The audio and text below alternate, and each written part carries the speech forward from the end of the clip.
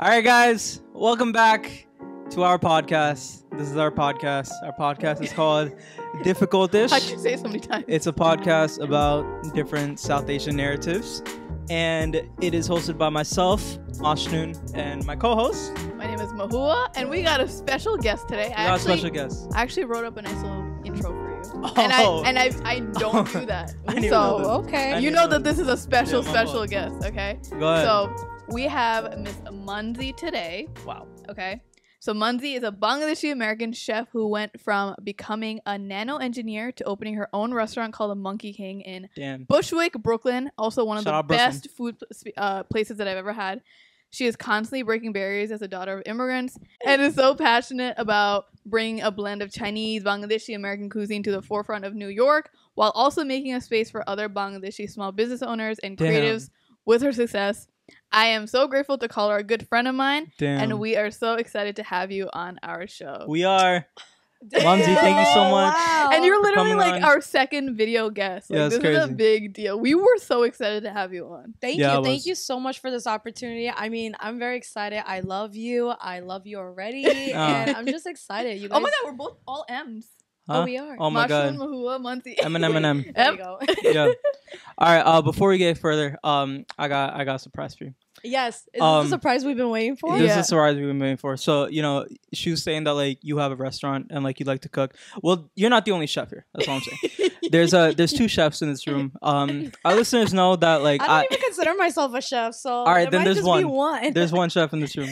Uh, the the he was so listeners excited about this. listeners know that you know I love to cook on the menu. and I've been waiting for someone who cooks to come on the podcast so I can cook for them. So I made you something. I made you. I'm gonna go get it. Just I'm talking. so happy. I did not eat anything because I was saving myself for Chick Fil A. it's not a lot. I'm hyped, yo. It smells good in here, though. Just know. it's so funny because she literally came into the elevator or came onto my floor and she was like, "Oh, something smells really good in this hallway." And so Mashun was so gassed by go. that compliment. I made you. I made you a a Bengali Ooh. kebab. Do I eat it now? Beef kebab. Yeah, yeah. I, I need a I need a live taste test. And test. also, And he put the lemon in there too. Yeah. yeah. And also, you can be honest about it. yeah, please, Hold on, let's please be do on. a Wait, before you get yeah, before Oh. I, I need I need to preface. I oversalted. I'm sorry. She said you're checking your blood pressure. I oversalted. Okay, I'm so sorry. So put the lemon on It's it. all good. It's and, all good. You know, I it need a smells amazing. Thank you, yeah. I love the fact that you gave me the lemon in there. yeah. as You know, I need to you know Yeah. cut down that salt. Okay. All right. I for- need a Wait, live is taste it a shami kebab What? or a beef kebab? It's a beef kebab. Yeah, yeah. beef kebab. ASMR. Don't mind the salt. It's salty. I know. I know. But focus on the flavor. And this all. is only his second time making it ever. In Listen, life. be honest with me. Like I Yo. like I really like you know this like cooking shit. Like You I'm can really handle nice it. with it. What's up? oh yeah. Oh. Oh Yeah. yeah. Oh yeah, I Yeah. heard it. yeah, I heard it here. Listen, I'm not all talk. That's all I'm saying. Yo, honestly, Okay. it's a little salty, but if you have it with rice or roti Or and, salt or like, some- and or then lettuce sauce. and tomato, like Yeah. it's perfect. Okay. Yeah. It's perfect. Okay. And inside is like it's like nice and moist. Yeah. I need and to I know say you went to town with the seasoning, yo. Feel me? Like I, I accidentally got a Jamaican curry powder instead of like brown people curry powder. So if it's like tastes like a little Jamaican, you Mm-mm. know, like that's why. Yeah. You know, we love like like, fusion food out here. Oh, it tastes like Oh. mom. Oh, you heard that? Oh That's my a No, the first time I made it, it tastes a lot like my That's a mom's. good you know, one. So yeah. Are we, are yeah, we ready yeah. to start? Let's move forward. Let's start. All right. So we got Miss Munzzy here. She's the most like confident, inspirational woman, like especially the Bangladeshi woman. Like she's very authentic with everything that she does. So let's get started. Okay. Let's do it. So you have your your background in nano engineering, just casually. Okay. And now you're not doing that at Mhm. all. All right. So let's talk about the journey to become a nano engineer. I don't even know what that is. yeah, what bruh. is that? What is that? Like atoms and then shit. the transition. Yeah, What's happening? atoms like That's smart. You know, I get that question all the time. What the fuck is nano- Yeah, what Yeah. is that? Nanoengineering or nanotechnology? I gotta Um, know. I guess scientists just, you know, they found out that when you alter atoms on a nano level, uh-huh. it changes all its properties from chemical to physical properties. Uh-huh. And with those new um, properties that come out of, people can utilize in different aspects, whether it's in like technology, um, in the biofield. Mhm. So um, when I went to SUNY Albany, shout out to the Great Danes. Hey, Albany. You know. Albany. Shout out Albany. Um, I was actually on a path of um, biomed because I was gonna go for pharmacy. Mhm. I was um chemistry major in high school at Brooklyn Tech, so Mhm. I was just like, you know what, I'm gonna be a pharmacist. Again, following the path of money, and then um and what our parents want. and what are Yeah. Tech, you know, funny, funny enough, my parents, they never forced me to be an engineer or a doctor. Mm, they just didn't want me to be a chef or an artist. So exactly what you are right now. So right. you know, Sorry. like they, they never said you have to be an engineer or you Yeah. have to be a doctor, but they did say no to me being a chef okay. Or me an artist. So, yeah, yeah. um, me, I just wanted to follow a path of money, and Right. pharmacy was like the first path. I was like, okay, I can make good money. I like chemistry. Yeah. And then when I went to Albany, I saw this amazing, pretty building, and I was like, "Oh, what is this?" And I read Mhm. up on it. And Albany at the time had the first college that was dedicated to nanotechnology, Oh, where it had a whole curriculum in the world. So it was the only college in the world dedicated to this major. Mhm. Damn.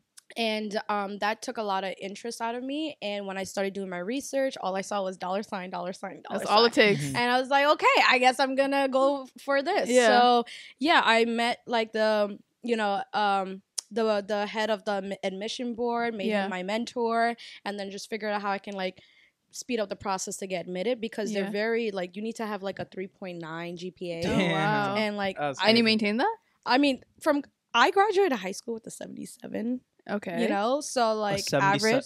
77 Oh, average. oh. Yeah. yeah Oh, so okay. like i really wasn't like i i i was always a nerd my whole Mhm. life and then like when i went to high school i was just like i want to be popular Yeah. and like Mm. i just want to enjoy freedom and do things Uh-huh. and not work care about school which Yeah. was so stupid but then once i got into upstate and i started focusing more um i didn't have the grades at the time so my first year i had to really focus and i was able to get a, a 4.0 and Oh, with shoot. that like i was able to like get accepted into the nano college yeah. and um yeah it's basically i focused in renewable energy but uh post grad i went into the semiconductor industry so um And you to move from the from New Yeah. York too, right? yeah to north carolina um and uh they had something called the Triangle Research Park, where NC, uh, North Carolina State, Chapel Hill, and Duke would make the Triangle Research Park, Mm-hmm. and it's kind of considered like the Si- Silicon Valley of Yeah. the East Coast. yeah, yeah. Okay. So yeah, I just started there, and basically we were building computer chips for different That's applications. Um, had a lot of projects with the Department of Defense, um, Tesla, you know, just Just casual, just slaying. yeah. Just How did you feel stuff. when you were like working there? Like, did you feel passionate about it? Did you feel like drained? I was honestly never passionate about what I was studying. Again, just I was forcing myself to learn what I needed to learn just to Make money. make money. Yeah. And um, when I was in college, I was one of like three or four females in my graduating class. Wow. And I I will never forget like my crew um when we were graduating like right before we were going over to get our diploma they had told me that they all had a bet that I would have I wouldn't have lasted no. far. and just because like It's I why would they say that? because like the curriculum was very intensive. I mean, Yeah. just to give you insight, everybody that was part of my class are now doing PhD at like Yale, MIT, Mhm. Harvard. It's like they're like the Mhm. top of the top, like Mhm. smart, very highly intellectual people. Yeah. And a lot of you know, a lot of people usually like that. They're not as social or friendly or just have like social cues like Yeah. that. And me, and here you have this one person, me, Yeah, extroverted. very extroverted, burst of personality, Yeah. like how I how I talk, move, dress. I just Yeah. don't fit with everyone else. So Yeah. they just I guess never took me serious to think like I I could do it.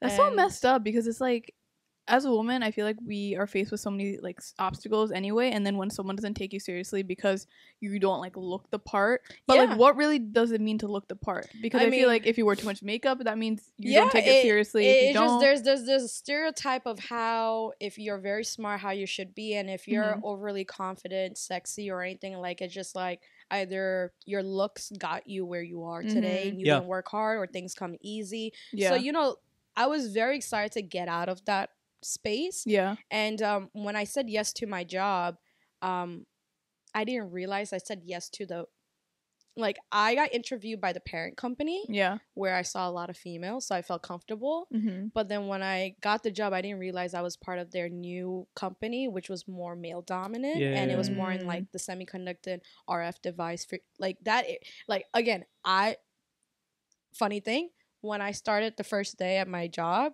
they thought I was one of the engineer's daughter. Oh, they were like they what like my um my team that I managed. They were like, yeah, we thought you were just like one of bring your kids to work day. That's fucking And crazy. then one of the other What per- the hell? coworker was like, "No, that's our new boss." So here I, I am, wow. 25. You know, no, not even 25. I was 23 at Yeah. the time, managing like a team of 100 people plus that Yeah. are way older than me. Yeah. And you know, it was just like, "Fuck, this is college all over again." Yeah. Like here are people self like doubting me, and I'm in a position where I'm only like one of the only few females, and I. I stood out and all I wanted to do was try to blend in. So like Mhm. I completely changed my style, my look. I was Mhm. just trying. I was wearing baggy clothes and everything because Mhm. I just wanted to blend in. yeah. And um, just everything from college kind of like traumatized me. Where I was just like, now I'm in a new state with no family, nobody. Yeah. Like imagine in your early twenties, all you know is New York. Yeah. and then you're moving down to the south to start your adult different. career by yourself, and you're kind of like isolated. So Yeah. um, Yeah. yeah. That reminds me of like uh my sister. She's she's 29 now. She's older than me. After she graduated from UCF, she graduated with um uh, an uh, aeronautical engineering degree. She started working for Boeing, and um she was like one of very very few women that Yeah. were over there. And she was telling me how like she let so much shit just like fly by that like the men were saying or just Yeah. like microaggressions. yeah, just like little things that like she wasn't she she was too like not scared, but like I guess when you're like brand new in a company like that, just surrounded by men, Like, like, you don't want to make not. a scene. You Yeah, don't want you to don't wanna- scene, and then if you do speak up, then they like be like, "Oh, Uh, she's like she's she's uh, she's difficult or like Yeah. you know just like the negative like stereotypes that come with it so it's Yeah. like damned if you do like damned if you do damned, Damned if you you don't, don't? Yeah. so yeah that was just that era i mean luckily i was able to climb through the ranks real quickly because i was just like i want to become a senior move up make Mhm. my money and then figure Yeah. out the next chapter Yeah. so, So all right, so so you you do the nanotech and then you get this this big girl job and it's popping.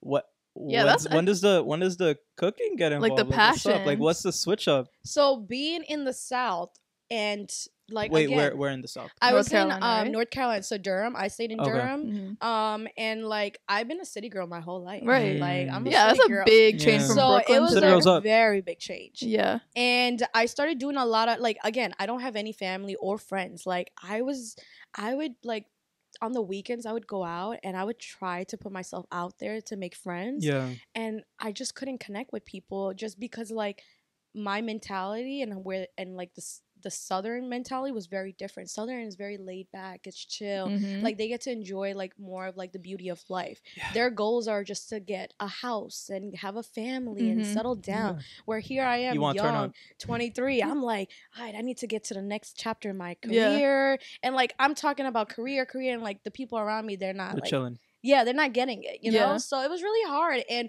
I think that's when I started to do a lot of things that I enjoy. So I started going out hiking by myself. I started cooking. I mean, like, yo, the amount of land you can get. Yeah. like, Right. yo. Mhm. Yeah, so got like having backyard and everything, that's something I've a never vibe. had. So I started gardening. I started going to the farmer's market. I started doing all these things that I would have never really done while I was in the city Yeah.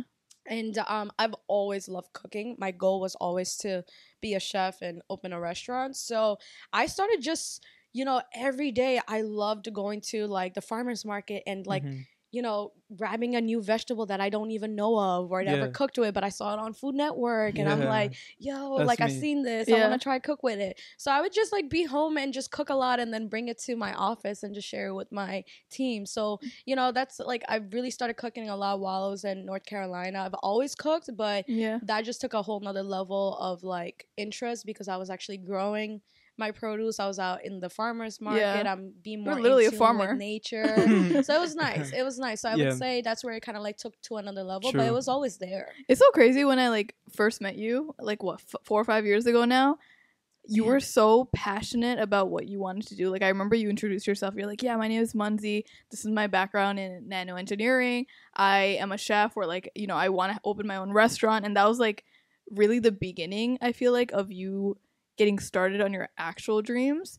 And it's just so wild to see where you are now. You know, because like that was just like an idea that you had and now you fully have a restaurant and you fully transitioned out of like a whole different career you yeah, know like when when you were in the south and like you you start like you know getting acclimated with like slower southern living, you always felt like the urge to like, wh- whether it was like go back up to New York or just like do something a little bit more like ambitious, like start a restaurant. Like you always felt like those are just Like, did you ever feel like you were succumbing to like the slower life? Because I'm kind of the opposite of you. Like I'm from Florida and I'm up in New York right now, and like I grew up like quite slow pace. Like I always had like a hustler mentality. I always loved working, but I think that was just uh given to me by like like my mom and shit. But I think like the older I get and like the more time I spend here, the more I realize like I yeah, like I, I work hard and like I get stuff done, but like at night I like to like not work and I like to like slow down. It's and funny Shit. you say that because like I, I I like try to plant a seed in Harvey. I'm like, yo, babe, you know, like I wouldn't mind like getting a home in North Carolina Yeah. and settling Yeah. down in the South, and maybe nice, you do. man. It's opening another restaurant down there. Because Yeah. like as you get older, you realize the things that you were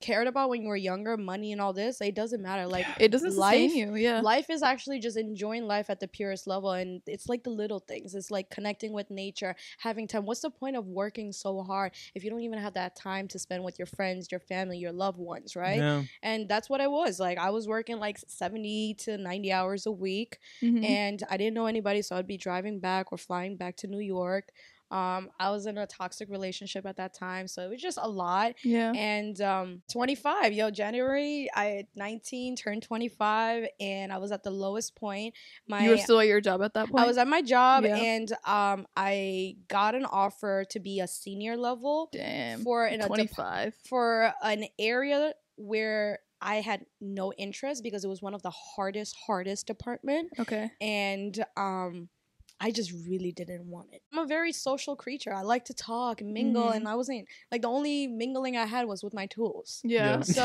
that was your friend. How you doing? yeah, yeah. What's so, up? You know, like I think I think that tool, like once, because as a senior, like my at that time I was one below, right? So as a senior, you take full ownership of the tools. Yeah. So that means like whenever they break, it don't matter. Yeah. It doesn't matter if you're overseas or whatever. You, You need to to, You gotta fix fix it. it. you need to be there back and i that's a commitment i didn't want and when Yeah. my senior left it automatically fell on my lap Mhm. without a question and i was like no i don't want this so yeah. me thinking i'm like yo at this point i'm getting very stagnant in my career and i'm just trying to like fly by Mhm. you And know i'm you're just, you're 25 at this yeah. not even i'm like 24 Yeah. I'm 24, 24. okay. So like it's like things are happening really fast. Alhamdulillah, it's great, but Yeah. I'm also realizing like I'm not as interested. I'm not as hungry as I was 2 years ago. Yeah. Mhm. The way I was Because cli- the money is not climbing. motivating you. It's anymore. not motivating Yeah. anymore and I'm just not happy and I, you know, I just wanted to like have a different change. I wanted to go back home. Yeah. I was feeling Mm. lonely. I wanted to go back home. But I, I feel like the the choice in career that you chose after that, like starting your own business, starting you know your like restaurant journey.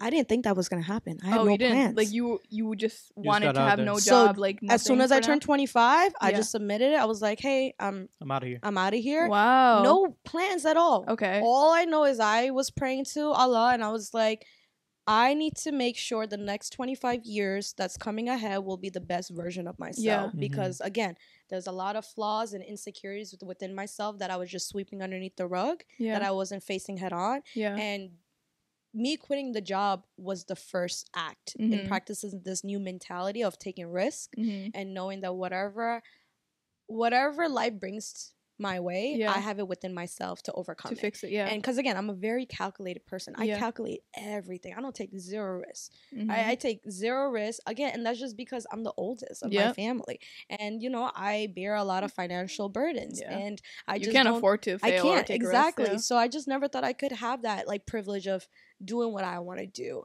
and um. 25 was like, you know what? You are going to figure out what you want to do or whatever comes your way, but you're going to be okay. And you just need to practice that you're going to be okay. Mhm. in the hopes of boosting my confidence, in the hopes of addressing my flaws and insecurities, and in the hopes of finding what new chapter lies ahead. And Mhm. that really was it. I lied to my parents and told them that I am quitting so I can go back to school and get an MBA from Columbia. I told them Mhm. I was going to get an MBA from Columbia, Ivy League, so they could just be off my to back. be good. Yeah. And in between, like I was just doing all these shenanigans, Mhm. and one thing led to another, which led to, you know, this. Yeah. I, I I was like reading one of your first statements that you put up with the Monkey King, and you were talking about how much you know your parents sacrificed to come to this country and just like come to a foreign land and just like have kids and start a life here. and how you want to start this restaurant and this new journey and pay homage to them. But also, it's up to us as children of immigrants to like pay that respect by doing what we want to do now you know like it's they sacrifice everything for us to like have this beautiful life now Yeah, you know? our parents came here to um to survive. yeah Right? But we are blessed with the opportunity to not have to survive, but we Yeah. get to live. So it's only right that we live with intention of what we're trying to do. And that's Mhm. why I say with the Monkey King, like it's the indirect responsibility to not be a voice for the generation, but to amplify the generation's voice. Because Mhm. our parents, their mentality is you can't blame them. yeah You can't blame them. They never got to be selfless. They Yeah. never knew about self care, self love, self fulfillment. They don't get. They don't know any of that. Those are all foreign, you know, terminology to them. Mhm. And we we understand the importance of these because we get to we're we- we're in a unique space where we get to you know dive deeper into what is it that our heart desire what is it like to take care of ourselves our parents have been selfless their whole life Yeah. Yeah. so when you're trying to talk about, hey, mom and dad, I want to do this because this is my dream or this is my love, like they had many dreams of their own. Yeah. How many of those They're like, "Get they over to it." act over, Mhm. right? Yeah. So it's on us to break that narrative and show them that, like, listen, well, you can follow your dreams. You can be successful. Everything in life is hard, whether you're becoming an engineer or an artist or a chef. But what matters is that you put in the time, you put in the work, and you just Mhm. do things from the heart Mhm. and there's no way you can't. You know, it's crazy. Our parents would, and when we were younger, it would be like, you can do whatever Mhm. and you'll grow. And then somehow that advice It changes, over time. And it's Mhm. like, what? You told me that Yeah, I could do whatever and I'll Yeah. be successful. What is it? If you fail one time, try, try again, Mhm. you know? Yeah. Yep. Like your parents, our parents gave us all these like advice. And Yeah. it's just, I think it's so weird that like as we grow up, those advice don't. yeah hold it doesn't hold yeah because it be- it becomes like survival mindset Exactly. Yeah, I think because like when when they're kids, they're when they were kids, they're probably told the same stuff, and then when they grow up, they you know are reminded by the elders that they got duties and responsibilities and stuff. And you know, like we all Mhm. go through t- we all go through um troubling times with like our parents. Like I have, you have. I'm sure that you went through like probably like the hardest times like with your parents. Um, what what were you doing in those times? Like, and what would you advise someone who's like going through like those real like deep waters with their parents? Like, is it is it just like get some separation? Is it like try to like walk them through what you're doing? Is it just like return to it a year later when like things Mhm. die down? Like what what is going on in your head when you're going through like those really tough times? Yeah, because I was I was stalking you and I saw that you made a post in in 2021 where you talked about you turning 27 and you were like, "Oh, these are kind of the the like reflections that I've had in the past few months and you know, this is where I'm at in life right now." And you had something in your caption and it said, "My relationship with my parents is at all time low is at an all-time low and they cannot accept the choices I've made thus far. I realize that I can't be the daughter they want without compromising my dreams and goals. I've always been the type to put my parents' needs first, so accepting our relationship's dynamic has been a tough pill for me to swallow."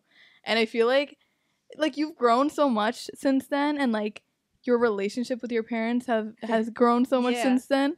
And I feel like a lot of people if they are going through that, they're like, "Oh my god, this is going to be the end all be all." You know, like I'm always going to be in this spot in my life. Yeah, I mean, sorry. Like No, it's parents okay. are such a like get it. sensitive topic because Yeah. like I love my parents and like many of us, we love our parents and like when we start this journey of doing something for ourselves, unfortunately, you know, I think everyone's journey is different and it really depends on their parents' mentality. Yeah. But for the majority that have probably will face what I've faced, it's you know, when the beginning, like I, I don't know how to like advise anyone on this Mhm. because Yeah.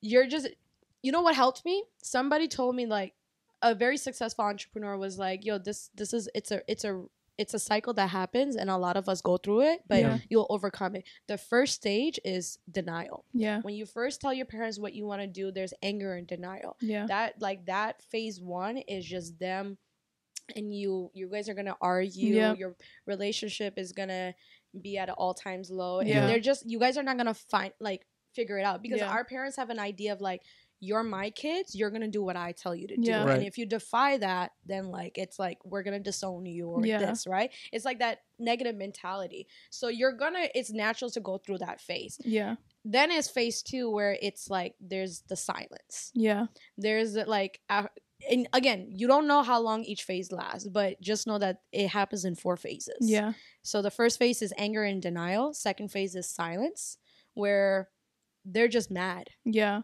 they're just mad and they're just giving you the like silent at treatment. everything, like anything Yeah. you say, like they're They're Yeah. just uh, like I remember while I was still living with my parents, like there was like what maybe like almost like a year I want to say that my parents did not speak to me just Mhm. because they were just disappointed in my choices of Yeah. everything, and they felt like by not speaking to me, I would come around, Yeah. yeah. which unfortunately that didn't never happen. works You like know, that, it yeah. doesn't work because it it it. it it builds a lot more anger and resentment because like life Yeah. is already hard. What I'm trying to do is already hard. I'm navigating You're through not this getting the world support. Yeah. and like more than anything what would make mean the world to me is having my parents support just for that ease of comfort Mhm. Yeah. like it's just stressful en- enough Yeah. i don't need that extra like that emotional manipulation Yeah. the emotional guilt gaslighting, like it's yeah. just a whole nother level that you just don't need and that's i think when you read that that was That's where that you part. are. Yeah. because like my parents were you know like guilt tripping and i just felt bad because i've always done everything for my family Yeah. just being the oldest i've done everything with the with the thought of my family first Yeah.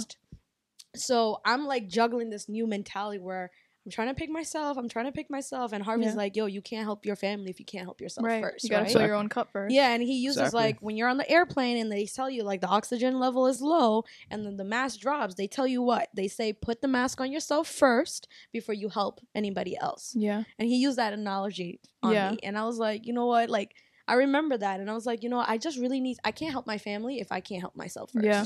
So that's when I like was like, you know what, despite how things are, I'm still gonna push through and eventually they will come along because that's that's what phase three is. Phase three, time has gone by. They're noticing that you're not changing up on what you're doing, Acceptance.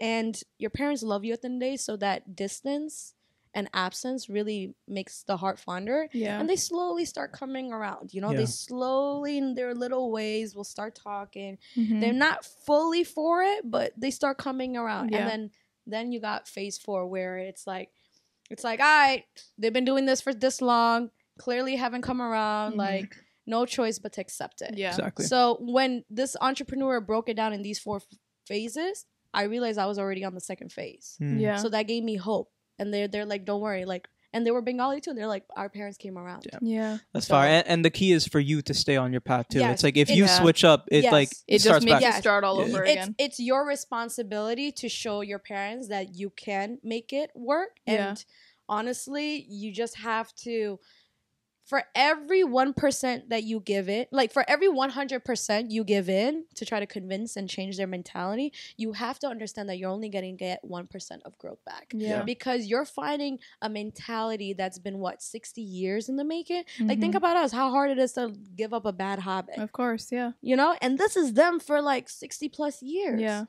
So like why would you think overnight you're gonna get them to change their ways? And my my brothers were always like they're not gonna change. They're not gonna change. But it's like they're not going to change unless you put in that work to help them change. Mhm. Right. and you have to understand every 100% you put in you're only gonna get 1% but look at us now five years later that 1% has accumulated to 5% worth of change Damn. Mhm. and if it means now I can sit at the table with my significant other and my parents and do what I'm doing, like Yeah. they don't still stop complaining. Oh yeah. They're know? gonna stay complaining. But you know, Yeah, and, and you got you got to remember like it's it's it's work. Like it's actual work. It's, not like work. can't do it for a day, can't do it for a week. You gotta stay on like the path that you know you know is right for you, and Yeah. you know as long as you stick to it, like things will work And it's out. so crazy because like you made that post when you were 27 and now you're 30. So it's been like 3 years and there's been so much like little wins in between, but I feel like when you are going through it, you don't see it as much because you're like, "Oh my god, I wish they were like 100% perfect," right? Yeah, But Yeah. now 3 years later, you're looking back at that past you and that past relationship and you're like, "Wow, like there has been so much growth and I'm so glad that I stuck through with it." But I feel like if anyone is going through that process right now and they're in like stage 2 or 3 and they don't see like the the end like the light, it just seems so far away. But when it does come, you're just like, Yeah. wow, like I'm but it's so only gonna come again depending on what you put in. Because I had Yeah. to, I had to have difficult conversations with my parents that I'm not even comfortable with. Yeah. So you have to like if you're not if you're not putting yourself in uncomfortable position, you're not gonna get those changes that you're the light is not gonna come anytime Yeah. sooner. Like I had to like on my mom's birthday, I took my whole family and sat them down. We did like a group inter- intervention, and we spoke for five six hours. hmm Like my brothers were crying, I was crying. My That's so parents were crying. uncomfortable. That it's Yeah, so uncomfortable. Like our parents don't do therapy and Yeah. shit. So I was like, you know, we're not gonna go to a therapist. So it's on me to like be the mediator, moderator, Mhm. and you know, push this conversation. Yeah. And yeah, my my brothers, um, you know, unraveled their trauma. I did mine. I talked about how like my parents always, you know, treating my brothers better than me, created Yeah. like animosity between me and my siblings because Yeah. it was like I'm doing all the right things, but like they get competition. you know yeah, I'm, I'm as a female i'm getting the great i'm getting the all the a's and i'm i'm doing everything i'm supposed to do yeah, but then my brothers get to stay out late Yeah. and you know fuck up Yeah. on school and shit and then it's like now i'm taking my anger that i have t- for my parents on them Mhm. so yeah we had all Yeah. this conversation and you know it wasn't easy for my parents to hear all that but Yeah. it was needed because um you know after that like everything was on the table yeah, and it's even those things like we don't say i love yous we don't hug yeah, we don't cry in front of our parents. We don't show emotions. But I knew if I needed my parents to understand what I w- why I was doing what I was doing, I needed to break a barrier of discomfort and Mhm. be uncomfortable with them. Mhm. And yeah, like now, Man. like, like my I don't know if your parents do it, but like they don't really hug. They'll Yeah. do like the side mm-hmm. side, hug. yeah, yeah, a like side now- pat or a hug. yeah, Yeah, like, bring it in. like,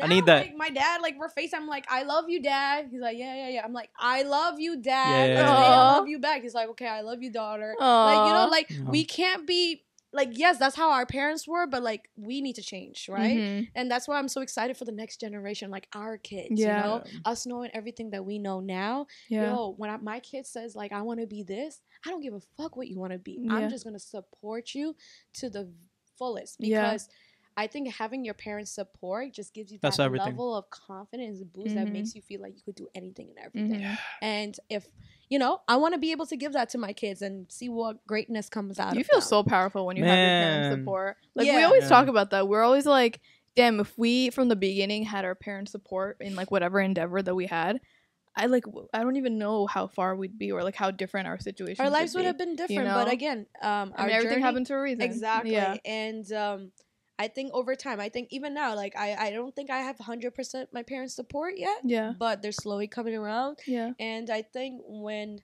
things really I think when Monkey King and myself reach the truest potential, Yeah. I think that's when my parents will see. Because that's where, Inshallah. inshallah, yeah, that's Inshallah. where you know everything. Like at the end of the day, all our parents want is us to live a better life Yeah. than they lived. Be happy Yeah. at peace. But they don't realize that everything in life is hard. So you Yeah. will always struggle. What matter is that at least you struggle at the things that you care about. yeah. Yeah. And that's the part that you just gotta bridge to them. Man, yeah. that was beautiful. no, like everything you said. she- actually, thank you. I'm telling you, she Like, always speaks wisdom. Like Yeah. she's so good with it. Podcast aside, like that, that was very beautiful. Yeah, It's so funny because like sometimes like like I remember I was on FaceTime with you once and you were just so stressed that day and she was just like violently doing her skincare routine like on camera where it looked like she was like ripping her face Like, she's apart. like, sis, I- like. I was like, what are you going through? Like you are Yeah. doing something wrong Shit's because going she was like putting Yo, the skin stuff dying. deep. She, she was like, why are you doing this I so was like, aggressively? I Are was you at peace right now? I'm like, yo, like I just have so much to do and I gotta move really quickly. Like, but then here you Yeah, are gotta spitting your wisdom and stuff. I was like, But you there's know- that side of you you. know, it's so funny because when I drove over here Yeah. I was thinking about the last time I drove over Yeah. and like how much of a hot mess I was. yeah, Do you remember should when bring we were back trying to memories. put like the pennies into like yeah, the yeah. machine? Yeah. This time I made sure I came with all my quarters. She's ready, I was prepared this just in case. Because you Literally, were Just in case. You were like, yo, she would kept on being like, sis, what's good with you? Like, you okay? And I'm bro, Nah, I, no. I remember I got into our car and like this is TMI, but like you're fine with it. She was just like crying in the car. I'm like, girl, are you Yeah, shit okay? Happens. And she Oh. was she was like on the phone crying, and I'm like, are you? Yeah. Do we need to go home there. and sit down first before like I've we start there. our day? It's I okay. was, and then we got right into work, but I was Yeah. like, God damn, bro. like, we don't got time. We gotta go right into I work. Let's know. keep going. But that that's why like uh, we'll get into it later. But I feel like now since we've kind of laid down the groundwork and the foundation of your business and like who we are as individuals, like it's time to like get back to our roots and like actually have that self care and like just like feel good about our like have a sustainable life, you know, because like hustle culture is not gonna last forever for us, you know, like we cannot work day and day like out night every single day because I've tried that, we've all tried that, Burn and it's yourself you burn yourself out. You're not passionate about anything anymore, and it's like you're just like, why am I even doing this? You know. So So you we'll, realize you get into yeah. another cycle that you were just avoiding from their last cycle. yeah, yeah, yeah, Yeah. exactly. It's like, what's the point of me transitioning from this you know job that was paying me so well into my actual passion if i'm going to be working like 24 hours. But before we get into that um something that you did mention was that like um hopefully in the next are you hungry what, was your I- stomach I, I don't know what that was. what like I'm not even hungry. that? Yeah, I'm not gonna lie. I think your stomach and my stomach are communicating. Oh, crazy. yeah. How'd that There's a work? little We're, telepathy synch- we're right there. synchronized. We're like we Sorry, want more guys. kebabs. Sorry guys, just like they're they're sitting right there. Like I still smell. Anyways, so anyways, go ahead. Go ahead. but um you were saying hopefully in the next generation we will be better parents and we will support our kids dreams and their endeavors right but i think something that our parents didn't have in this generation was just like the positive bangladeshi representation of like okay i see you know there's a Shah Rukh Khan so maybe like an indian person can be like oh we have Shah Rukh Khan maybe my kid can be the next Shah Rukh Khan right but we didn't necessarily have the specific like bangladeshi american entrepreneurs None. and like the creatives where Zero. they had like a reference point for their kid, you know. But I feel like now, since we are growing, yeah, there's so many. We're growing in the generation where there's like everyone everywhere, right? And we have you, we have you know us as artists and things like that.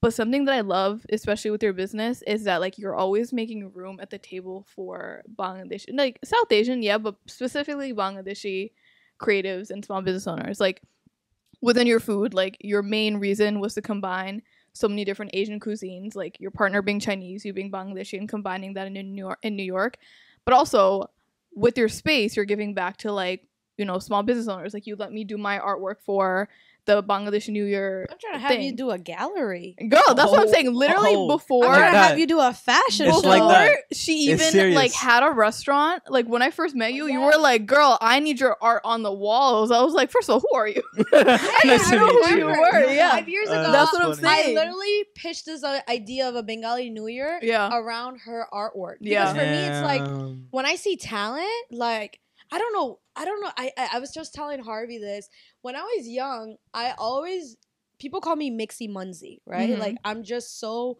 like I can connect with any different group. I'm I'm a chatterbox. I love being friendly. I love just mingling, right? Mhm. And I always was that one friend that had different friend group. While Yeah. my main core friends, they would always like to stick to their crew and that's Yeah, it. yeah, yeah. Where I, I wasn't afraid to like venture out and be friendly with outside people. Mhm.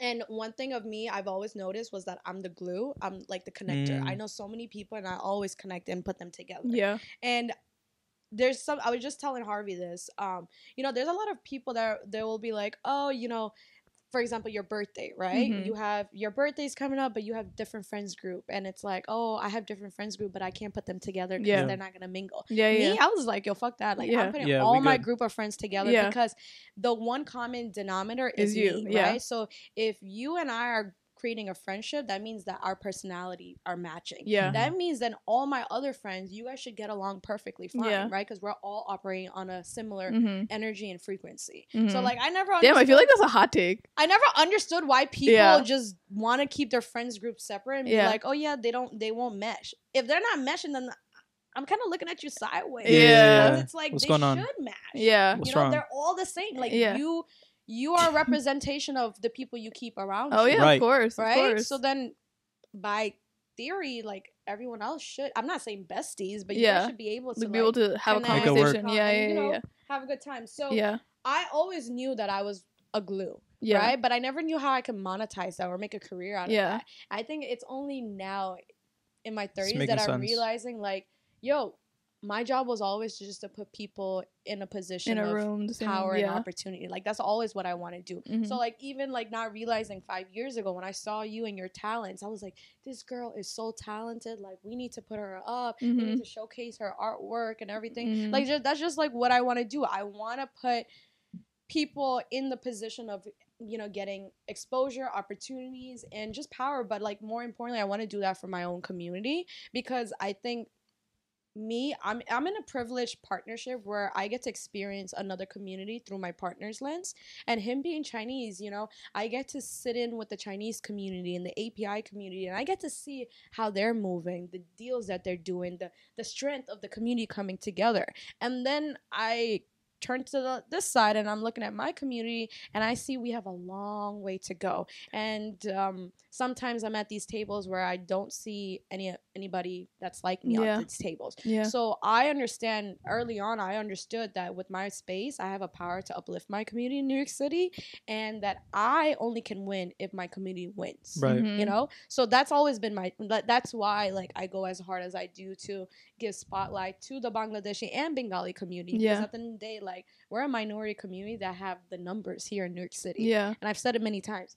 How are we one of the most populated group of people in New York City, but the spotlight on us is barely there? Yeah. Mhm. Barely. It just doesn't make sense to me. It's coming. And uh, exactly, It, Yeah. yeah. I feel like our culture. Exactly. We are in this era of cultures that co- on the come up, and Yeah. like you know, you see so many minority cuisines, culture getting represented. Whether it's like Afro Afro music, Afro Mhm. music, right? You Mhm. see um, Latin. You see so many different cultures coming up, Mm-hmm. and it's like this is the opportunity for us to come up as well. Yeah. But we need to come together as a community, Mhm. and that's where I look at the merging leaders. In it doesn't have to be in my industry Mm-hmm. it doesn't matter if you're a chef or a restaurateur or artist. At the end of the day, we're all Bengalis breaking barriers, Yeah. and we're all going against the grain. Mm-hmm. And if we all just band together, and when we have opportunities at the table, like you know, look to your left, look to the right. These are the people you want to Yeah. work with. But yeah. I feel like I feel like brown people got like that that crabs in the bucket mindset. where, Yeah, like, I mean, we're know, all still coming out of it, and I I think that's why like. Like you said, it's coming. I Mhm. think in the Mhm. next two, three years, Mhm. it'll be more prevalent. But like Yeah. right now, like we still have a lot of work to do. Yeah, I think when when you see when you don't see a lot of opportunity or don't see a lot of room at the table, it's very like you know people are trying to like drag each other down. Maybe not Like so much our generation, like previous generation, but our, everything No, was it's super definitely an- There's a little There's- bit of that definitely- scarcity mentality. Yeah. Yeah, still yeah. a little It's bit. definitely here. You could tell who's really for the community and who's not. Yeah. You know, Yeah. so there's still some of them, but Oh, you know. Again. That, that's why I say Right. like when you find the real ones, you connect and you gravitate. That's why Yeah. like I'm very like as I'm going through this journey and I'm getting to have the opportunity to meet so many other people. I'm gravitating the ones that really resonate with my story and that I can connect with, and that's why Mhm. like I was so excited because I've said it from the very beginning. And I I always say it to her. I'm like, you're one of the realest I've met. You know, Mhm. you're She one is. of the Girl, you too. realest That's a fact. authentic, like right off the bat, like there's no hidden agendas, Yeah. motives with you. You're just at the core, just pure Yeah. kindness. And like I really appreciate that. And yeah. I love like I be, I mean, I'm not on the gram as much, but like yo, I l- love when I'm seeing you win cuz I'm just like, yes, like if there's anyone that deserves it more than anybody, it's you. No, Fact. I You love that. I love and that. you, no, you, feel could, the you, could, same you that. could feel that like you can't really see it online like you Yeah. could see but like in person like when you talk to somebody a little bit you could tell like Like who's like who's genuine bro like Yeah. who's like honest about like where they come from and like you know what they're trying to represent and you could tell people that do it for like the wrong reasons or for a reason that doesn't even belong to them you know like they got it from somebody else but Yeah. I like see a younger version of myself in you, but a better version of myself Yeah. in you. You know, Yeah. because what you s- like, you're a bit younger than me, but Mhm. like the levels that you're touching, like I'm so happy because I, I like I'm so happy because Yeah. I wish if I were to have that, like I would be in a whole different different stage, right? Yeah. But again, everyone has different journeys, and they have it's for their own reasons. But that's like now now we have people like you to look up to, you know, like five, it's six funny years 'cause ago I you look didn't. up to you. Girl, Uh-huh. it's, it it's mutual. I like a, so, but it's so know, cute because I Here it remember goes. for my birthday Yeah. last year, like she mention sent me such a good text. She sent me like this long ass thing, and she was just like, "Girl, it might be like you know scary at this age because like 25 is like in your mid 20s, but once you hit your 30s, you're gonna hit like that confident era, and you're also killing it already in the game. So we yeah, don't I was even just know. like, yo, keep up this. Like, Yeah. what you're doing is already Yeah. like what you're doing right now at your 25 yeah, is what I'm just starting to do at 30. Yeah. So if you keep it up, yo, by five years from now,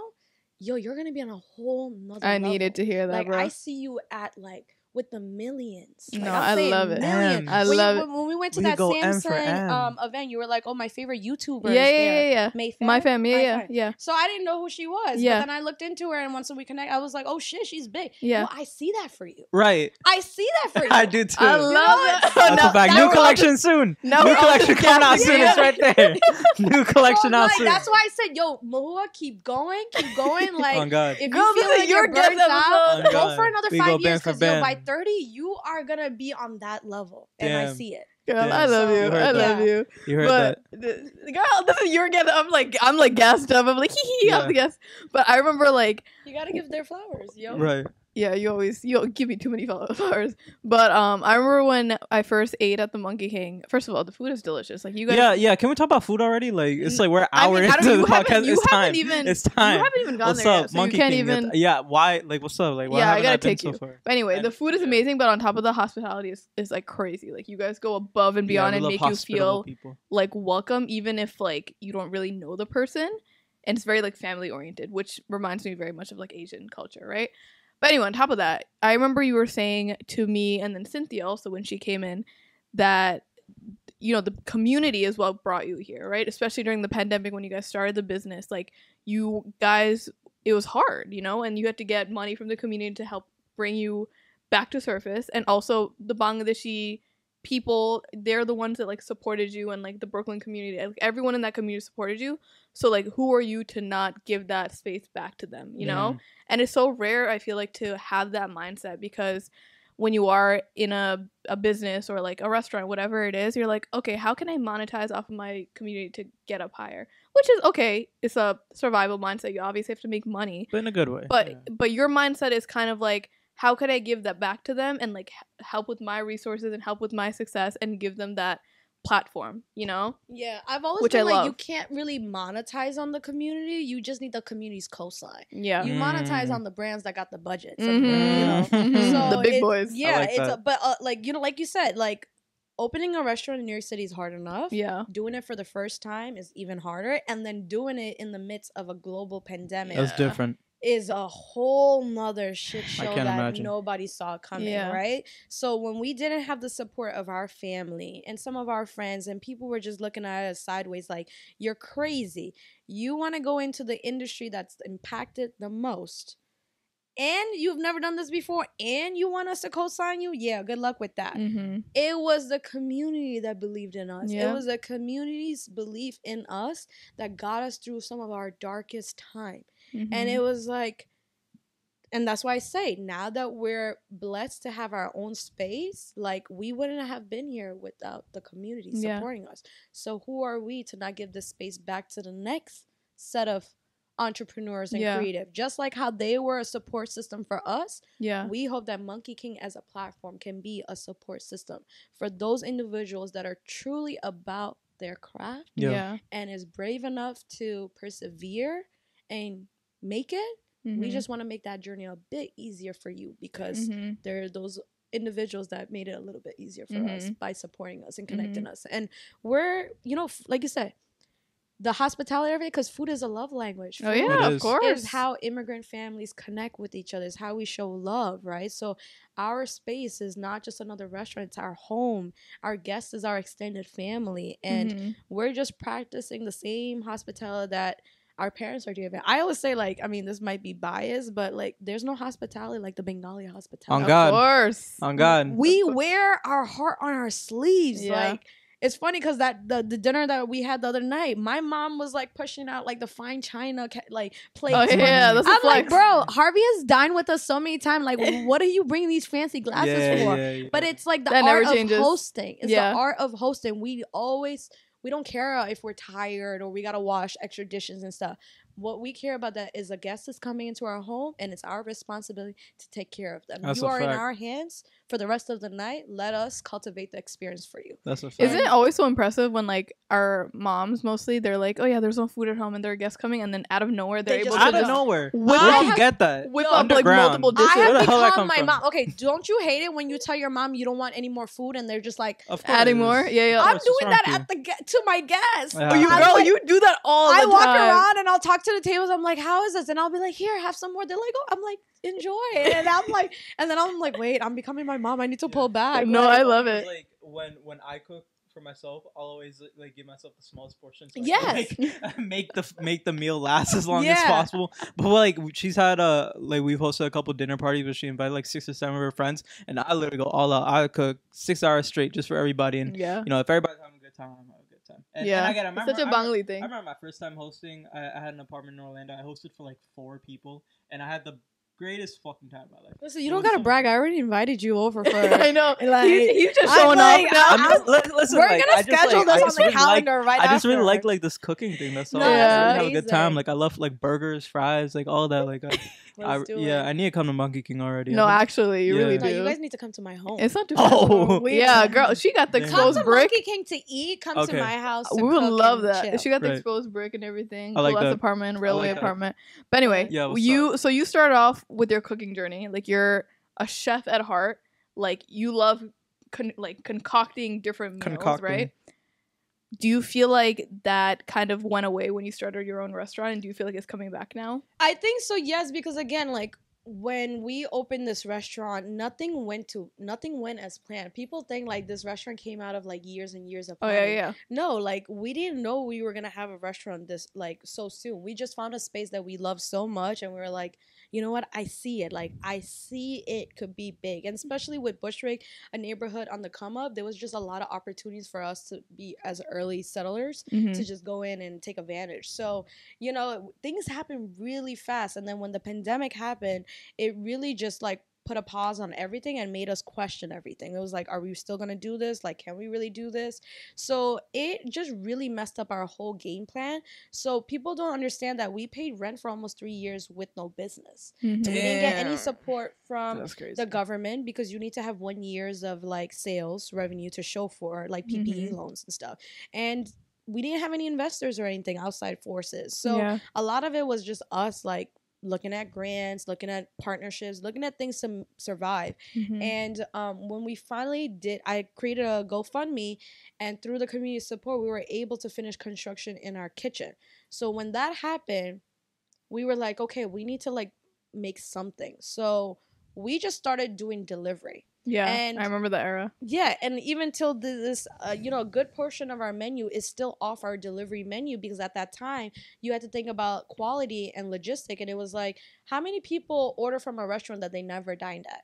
Very little. So our odds are already against us. On top of that, we have to make food. So we really we had just so many fires as two individuals. So we tapped into um, Harvey's father, who is an executive chef, who has a history of owning multiple restaurants and being successful. So we tapped into him as one of our biggest resource, and he helped us like get through that time. So a lot of our dishes are rooted in a lot of Harvey's father's cooking Mhm. because again they carried out well Yeah. certain something like our duck fat fried rice which is one of our signature fried rices right Mhm. that came out of our desire for our love for duck fat fries Mhm. but fries don't Mm. carry well Yeah. so Right. a lot of things that came onto our menu just ended up being a survival thing yeah. so at that time when I had all my recipes, like I said before, cooking at home and cooking at a restaurant for mass reproduction is too different. yeah. I realized like I still had a lot more I needed to learn. I needed to find like my set of vendors that I was gonna get spices. Cause how many times can I just drive up to Jackson Heights to get all my spices? yeah. From Like Brooklyn. that's not sustainable. right. You Yeah. know? So I realized And you're doing it all yourself too. and I also realized we have so many other fires. Like you, you just gotta like divide and conquer. So Yeah. at that point, like yeah, I felt some type of way that I couldn't push out my food onto the menu.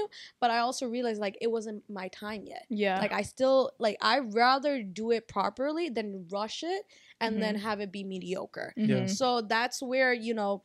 Um, I moved towards the front of house. That's where my strengths were. I've always Mm. overseen front of house. I've worked. I started as a host, and you know worked my way up. Managed a Michelin restaurant right before. So Mhm. at that Damn. time, like you that. know, That's as the restaurant was starting to get some headway, and construction in the dining room was like almost finished, I had a whole new set of problems. Was like, okay, Munzzy, you need to start creating a team. You need to, and like again, we're doing all this from scratch. So we got to create the roles. We got to be the HR person. We got to do the interviews. We got to create the training program. Man. All this is taking time.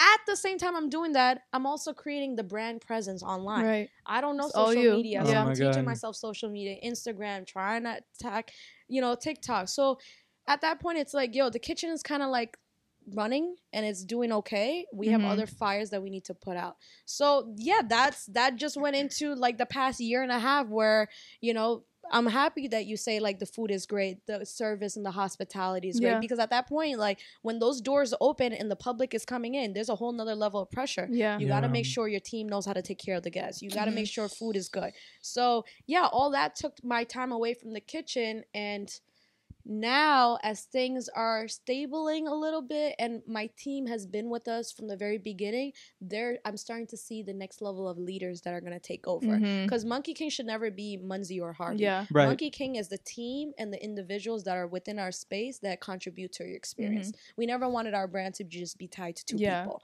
It's But not about do you, us. f- do you feel like it's hard to let go of that control though? Because it is like your baby, you know. in the beginning, yes, Yeah. because that was because we did not have our f- infrastructures Yeah. solidified. Yeah. Like we knew what we put out, but we knew it wasn't rock hard, Mhm. solid. Which is now the time that I said we're taking that step back right now, Yeah. kind of being quiet, not doing any activation or anything, Yeah. because we're really talking about expansion. Yeah. We're at a point where Monkey King is starting to get out there. The floodgates are leaking, and we need to expand our space. So Mhm. we are moving into bar seating now. We're gonna do our outdoor seating. yes, All sir. that Let's go. means expansion. I need Let's more go. people on my team, both in the front and in the back. Mhm. So there's a whole and what people don't realize with restaurants, everything is interconnected. You can't change one part without changing all the other structures. Mhm. Yeah. So we really are doing a full dive of creating a whole new blueprint of how we want to run our business for the next five years. So that. with that being said, I'm trying to buy my time back, and that's where you see me cooking more at home right now because I'm doing more recipe development at home.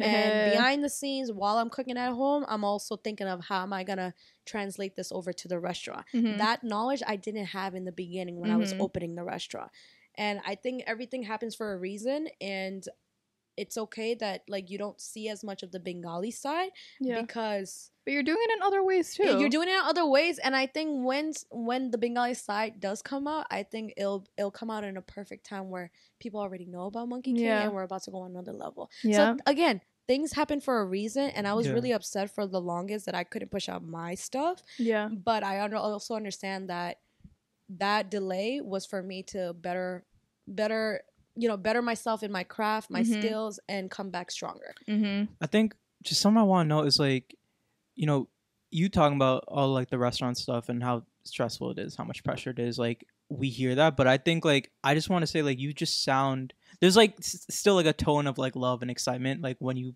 talk about Yeah. it. Even though you could talk about like the most stressful things, you could I like I can hear that like you still like in a way There's, like, like, love the pro like you yeah. found a find a way to like love the the process and love Yeah. like you know the the journey of like growing a business because like you know it's yours it's your baby and like at the end of the day like there are things gonna that are gonna be tough about it but like i can still hear like the excitement and i think i think like when i hear people talk about business it's really easy to get like to just get bored or like for you know they get super like nonchalant or like don't have any like charisma behind like what they're talking about but like when you talk about it like it makes me excited to like one day go or like one day like start a business or one day like do whatever and It's you have like this special tone It's to it. because you're an artist at the end of the day. All we're all artists. Yeah. and what's the point, right? To create. yeah So I think my interest, despite all the other workload that we have, like again, when you're doing something you love, it comes with all the other work that you don't want to do, but you have to Mhm. do, right? Yeah. But what gives you the excitement is at the end of the day, you get to create and you Yeah. get to take these ideas that you have, whether they're cooking, their recipes, their events, their experiences, and you actually have the power and the control to make it happen. So Mhm. I love the idea that like at the end of the day, whatever ideas I have, I can actually make it happen. And it's all on me. Mm-hmm. So I think that ownership, that full creative ownership to do whatever you want in your own business, your own brand, yeah. it's like there's It makes it exciting. it makes it exciting. It's like you're excited to see what you can create. Like the Bengali New Year's, that was five years in the Yeah. making.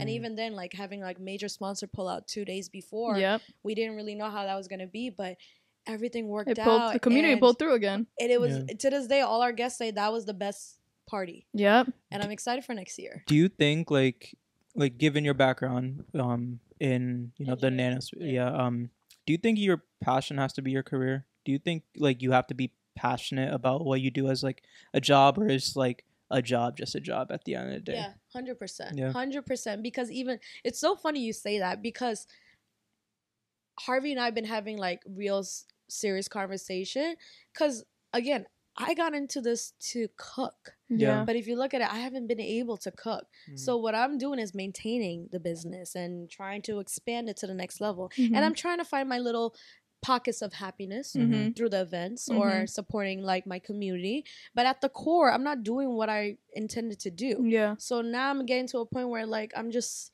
I'm in limbo and I had to like really be like, yo, I, I'm confused, I'm lost. Like yeah. I know this is my space, but like what I really wanted to do, I haven't been able to do it. So that and that goes back to us going through this whole infrastructure of blueprint because right now, the way Harvey, you know, explained it, and I agree, it's like we don't have the luxury to do what we want to do. Mhm. Yeah. Right now, there's just too many fires for us to put out. And what's the point? If we don't take care of the fires, like we won't even have a space to do what we want Right, to do. So, right. like, you got to put that at the back pocket for a second Yeah. and figure out what you need to. And right now, is building up the team, making sure we can, ex- uh, you know, be able to uh, withstand this new level of busyness. Because, like, we're turning down people on the weekends, we're getting booked out weeks and weeks in advance. So, Mhm. like, we're hitting a new level of um we're we're we're on uncharted territories Yeah. right now. Yeah.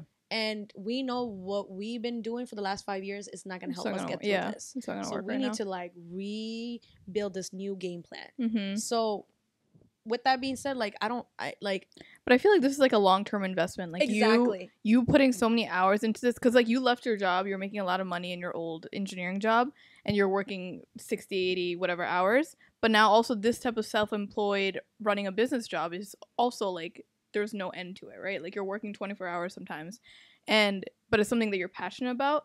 And yeah it's not necessarily the exact route of like cooking or like being a chef exactly what you want to do because you're running a business but you know at the end of the day it's going to get you to a point where you can eventually do that again And you I know think that's the entrepreneur mentality. yeah Yeah. Things will work out in your favor. You just gotta adapt and keep going. Mhm. I haven't been paid. I mean, I we were we we quit our jobs at 25. I'm 30 and Harvey's 32. yeah So we're we haven't seen a paycheck. Yeah. You know, Mhm. we're just surviving within the means of what we have. And I would have never thought, like three years ago when I first started, like I was in a fake it till you make it mentality. Yeah. I didn't think I could be an entrepreneur. I didn't think I was built for it. yeah I was just trying to ride the wave and see if I had it. And now coming in, I'm just like, wow, I survived these last five years.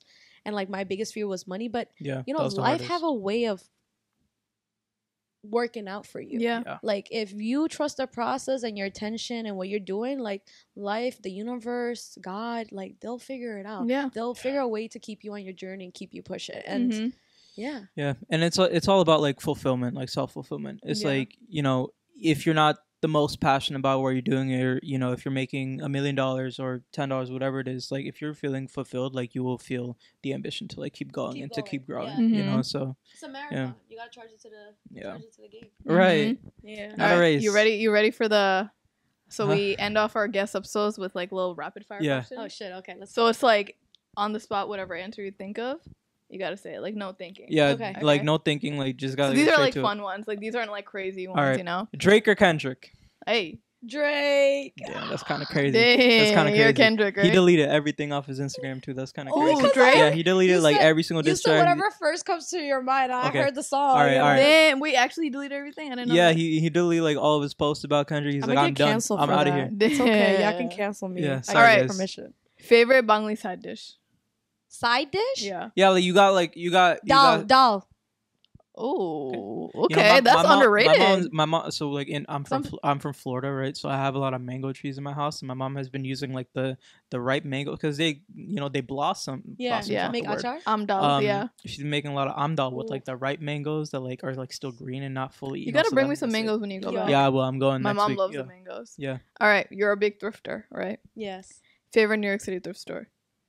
Damn. You're trying to make Damn. me Right. say my You can say it. say my spot. Wait, what is it? Beacon Oh, okay, Closet. she's a gatekeeper. She's a gatekeeper. She's a gatekeeper. She's a gatekeeper. Brooklyn Sorry, gatekeeper. I am. I am Crossroad. Not Crossroad. What? Next question. Whatever. That is what a Never what a shame. We're cutting that out. What? What's going on? All right, next one. Dream destination. Back in our travel era. oh, I love? Greece. I've been there, but Oh, you've I been love there? Greece. Mm. Yeah. Oh, I love Greek mythology, so I Mm. love like ancient infrastructure, and Damn. I, I still want to do Greece again. Yeah. Okay, My all mom, right. my mom used to be a flight attendant before she got married, and she's been to Greece four times, Damn. and she Greece. still talks about Athens like to this day. She yeah, says it's her favorite. she literally place in the brought it up the other day. Too. Yeah, it's just out Just of nowhere. I went to Athens. Yeah. out of nowhere. I that's her icebreaker. don't have a vacation, but I love like Greek. myth- So I love like I don't know if you watch Netflix right now. Three hundreds on like I have not. Rise no. of the Empire. Uh-huh. Okay. So I just Is like that what you're watching? I gotta check yeah, that yeah. out. I love anything Yeah. that has So like niche. Shout out Greece. to the It's just Chick Fil A documentary in that. Yeah, big Gre- big what's souvlaki guy. All right, I love, yeah. ideal Friday night.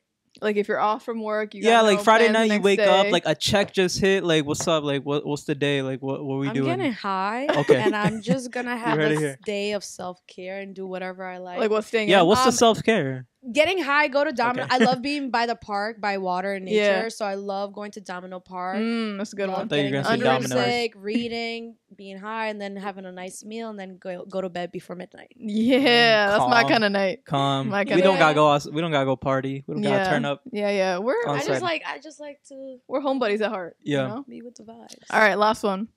Biggest hot take. It doesn't have to be related to anything. Just hot said. take.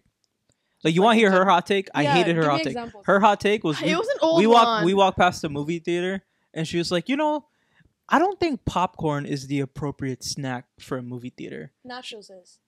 She said like like chips or something. I was like. I was like, what? Like, no, it's too crunchy. People next to you are gonna get pissed off. It was a bad hot take because popcorn is like quiet. my you know, you- God. whatever. So like, hot take about anything. That was a bad one. You know like, what she got so mad at me about? Huh. Do you remember when I was telling you I used to not eat sauce? Oh like my I just God, got into bro. sauce recently. I was like, what What's the hell? I wrong with her? Chick-fil-A, What's wrong she was with like, her? Oh, I've never had these sauces. I'm like, girl, you need to have the Chick Fil A sauce. So hot take. I don't think Chick Fil A is fast food. I think it's gourmet. Gourmet. She said gourmet. Chick Fil where's the A. sponsor. Chick Fil A, hit us up or and hit it's her so up. funny because we're talking to someone that owns like an actual like Yeah. Michelin I'm restaurant. going Yeah. to Chick Fil A right after this. We manifesting that collab. That No, monkey. literally. That monkey What's your hot Chick-fil- take? Huh? Um. Say it. Come on. Think of one on the spot. Um. Um. I don't think like pancakes and waffles are breakfast food. I, like breakfast. I think they're. Oh, you don't like breakfast like at all? I don't like sweets, and most of the breakfast is So you like, you think that's no, not breakfast food? like you don't like sweets, I, like I at don't all. like sweets. That's different. yeah. So you don't think those? Are, No, I are- think they're dinner foods. what? Okay. Sorry. Wait, since when did you ever? Because they're like they're heavy, like they're heavy. Like you have like heavy, like unhealthy So bacon, food egg, like and that. cheese. Yeah. But like at the end of the day, like bacon is just like it's like a strip heavy and like dinner. egg. It's so funny. No, you say, if you want- to say pancakes and waffles are dinner rather than dessert. Yeah. Why did you say dinner? And I You wanna take it that's just a back? hot take. You want to take it back? Can I take my Listen, drink? y'all don't see the vision. back? Like, All y'all right. not- no, y'all- I feel like you can take it back. Like think about it a little Nah, bit. Let it rinse. Dinner. It's dinner. It's more dinner than breakfast. But I've also never seen you eat that for dinner. So why would you say that? you know what? All right. Yo, you guys are literally like Harvey and I. No, Yeah. it's, it's just like, and it's so crazy. Well, I mean, we'll talk about Yeah. it. So Yeah. I would have loved to have it on. We just don't have more space. I know. Yeah. but also, it's also like owning a business and like owning a brand with your partner is like a whole different level of something else. Like, I mean, a I think that's some that's The strongest that's of his more shoulders. content you guys need to because I'm trying to see more couples and dominating. how they work in business and like communication. So maybe that should be another like sector that you guys tap into. Damn. If you have mm, guests, do like couples because Oh my god. I feel like yo doing business with your significant other is a whole you gotta be strong. challenge. Yeah, you gotta be strong. Both of you independently, maturely, you know, it's just there's a whole nother level of sacrifice and you cannot talk about your relationship with your friends that are not in the same They don't get Yeah. it. They don't, get, it. So that, Yeah, at the end of our episodes, we we we do a 10 second advice session. Anything on so like just not advice on related to- everything, like a hot take, but you know, just advice. yeah. Um, Sometimes they'll be like, "Oh, make sure to oh, I already know. brush your teeth before you go to sleep." No. No, something so stupid. Um, Oh, you have one already? Yeah, go I ahead. already have Oh, it. It's go ahead, same go one ahead. I always say. Think about everything that you have accomplished in your life and think about like the lowest point that you had that you thought you weren't gonna make it and see how you came up you know, came from it. hmm Wait, I'm fucking this up. Can Came Okay. up from it. yeah, re- Wait, wait, restart. sorry, sorry, y'all didn't hear that. Y'all didn't hear that. Y'all didn't hear that. out. Cut it Chill, out, say it chill. again, say it Okay, again. one more time and cut. I would say, you know, think about the lowest points you have had in your life that you thought you could not come from it and you have overcome it. And think about how successful you have been in areas that you're not passionate. Now think about how successful you will be if you are actually pursuing something that you care about and that you're doing from the heart. You know, Yeah, there's a it. level of success you can touch. Y'all heard that? that? Yeah, nah, listen. Damn. Just do what you Li- love. listen you can't again. fail when you do what you love. That's Rewind. It. Listen, You heard to that? again. There you go. Yeah, like go that. back, go back a couple Yeah, seconds and 30 hear that again. Hear do that again. Do what you Let's love. You can never fail when you do what you love. Oh my you do it God. From the heart. And she said it again. I needed that. And she said I needed that. Uh, before they wrap it up, I just want to say thank you so much for you know having me here. Thank you for making me comfortable. I Of love you guys. I've been watching you, and I'm very excited to see all the barriers that both of you individually and together break. Girl, all of and us. um, to many more episodes, to many Yes, more having great, great So guests, many and more. you know, to many more series of people that are watching this. You guys are motivating, inspiring them. So continue doing this, and thank, Thank you for you. having me. part of. Lindsay, Thank of you, that's course. amazing. You not only did you like just end it with a 10 second advice, but then you like Yeah, oh my god, like I Shed a it up. tear. I wrapped it up. gave us a little motivational No, speech. yeah. I mean, I yeah, mean, do you have a thank- 10 thank- second advice? for I do, but I don't. But but thank you, thank you for everything, for No, everything that you said. Like I feel like like real like real life like motivated and like inspired by like things that Yeah. you said. Like, like every everything aside, you like- say has so much passion Yeah. in it and like people can feel your energy and like your resilience through the screen or even talking to you and i feel like people are gonna just learn so Yeah, much from like you and be so inspired by your journey and like again you were one of the first bangladeshi women that i knew that was uh, like actually breaking barriers and going into a route that was like not made for us really and i'm just like so excited to see where else you go you know like, Yeah, like, you just remind me a lot. Of, you remind me like a lot of my sister. Like she's Yeah. like she's Yeah. super. She's become super successful in like her career and like she's been through a lot and she's been through like trials and tribulations, but she still carries like this like love and softness humility and like passion yeah. excitement and like I I sense that in you. You know, so like Yeah. so yeah. Thank you, thank you so much. Yeah. yeah Okay. Um. You got your 10 second advice? Uh. Um, did you think of one? um. If your if your kitchen knife is dull, it's time for a new one. If you need, if you needed a sign to get a new one, I need a new one. I've one. I've or almost get a sliced- sharpener. That's too much work. Like Oh. we don't we don't got time for Oh. all that. Just get a new knife. You it don't gotta be expensive. Yeah. 15, 20 bucks, right? Is that is that okay? How, what's like the uh, what's a good good price for a kitchen knife? I don't know. You said you don't need the sharpener. don't- and now I'm looking I'm at you sorry. sideways. Okay, okay. Yeah, she's mad at you. You I just don't know. I just don't know. I see I, I see dull? videos of like people sharpening shit. I just like that's too complicated. Just go buy a new one. I've Yeah. almost sliced my finger like multiple times. Yo, it's listen. time for when you my start shit's dull. sharpening the knife, you you you're on another level. Oh, You gotta get on that chef level. Oh. Yeah, that's Come what I'm saying. Okay, if you say like that, if You you need the say like that, get a You gotta be the sharpener. One like- Get a sharpener. Oh hey yo, Facts. you're doing tricks I'll in the make that kitchen. happen. I'll make that happen. All right, my my 10 second advice is instead of primarily considering Botox right away, maybe think about like um Some a skincare. retinol, no retinol, because I had a fa- I had a facial the other day after like many years or like a year, and she was like, yeah, like after 25, you should probably consider retinol because it like makes your wrinkles like not come in as much Mm. if you care about things like that. Just like you know before the needles and before the You'll need all that. injections and things like that. You'll need all about that. some retinol, you You're know. beautiful the way you are. Just put some retinol. Yeah, and sunscreen. With sunscreen. SPF. He's been on the SPF. I've been a big SPF yeah. guy. Yeah, she's changed my life when it came to came to skincare. Yeah. Before I met her, it was straight water. After, you know, I got Bruh. not even, not even. All right. Cancel. Plug your plug your socials and everything before we sign off. Where can we This should have find been you? the beginning, okay. We're an hour, twenty Um, minutes in. Well, you can follow us at the Monkey King NYC, sir. and my personal is O Munzzy. Oh my god. Oh, god, She just it'll had be linked change. down. Everything's everything yeah, is in the Munzzy link. Was just too much to type out. Every Mm. Really, I liked it though. I So like it you. too, I know. It's Yeah. on both me and you I'll had bring an it back Instagram if I ever do a cooking show or something. All right, guys. Thank you so much for listening to this. If you made it this far, please drop down the monkey emoji. Monkey, monkey emoji. I need some monkeys in the comments. Yeah. Thank you guys so much Make sure to, to this like and episode. subscribe if you are watching on YouTube. If you're listening on Apple, Spotify, Yeah. everything else, make sure to rate and review. Rate us. Collection out soon. New collection out soon. It's right there. New collection out soon. Thank you so much for listening. So yeah, much for actually. All right, And we love you guys so much. A good one. Allah Hafiz. Bye.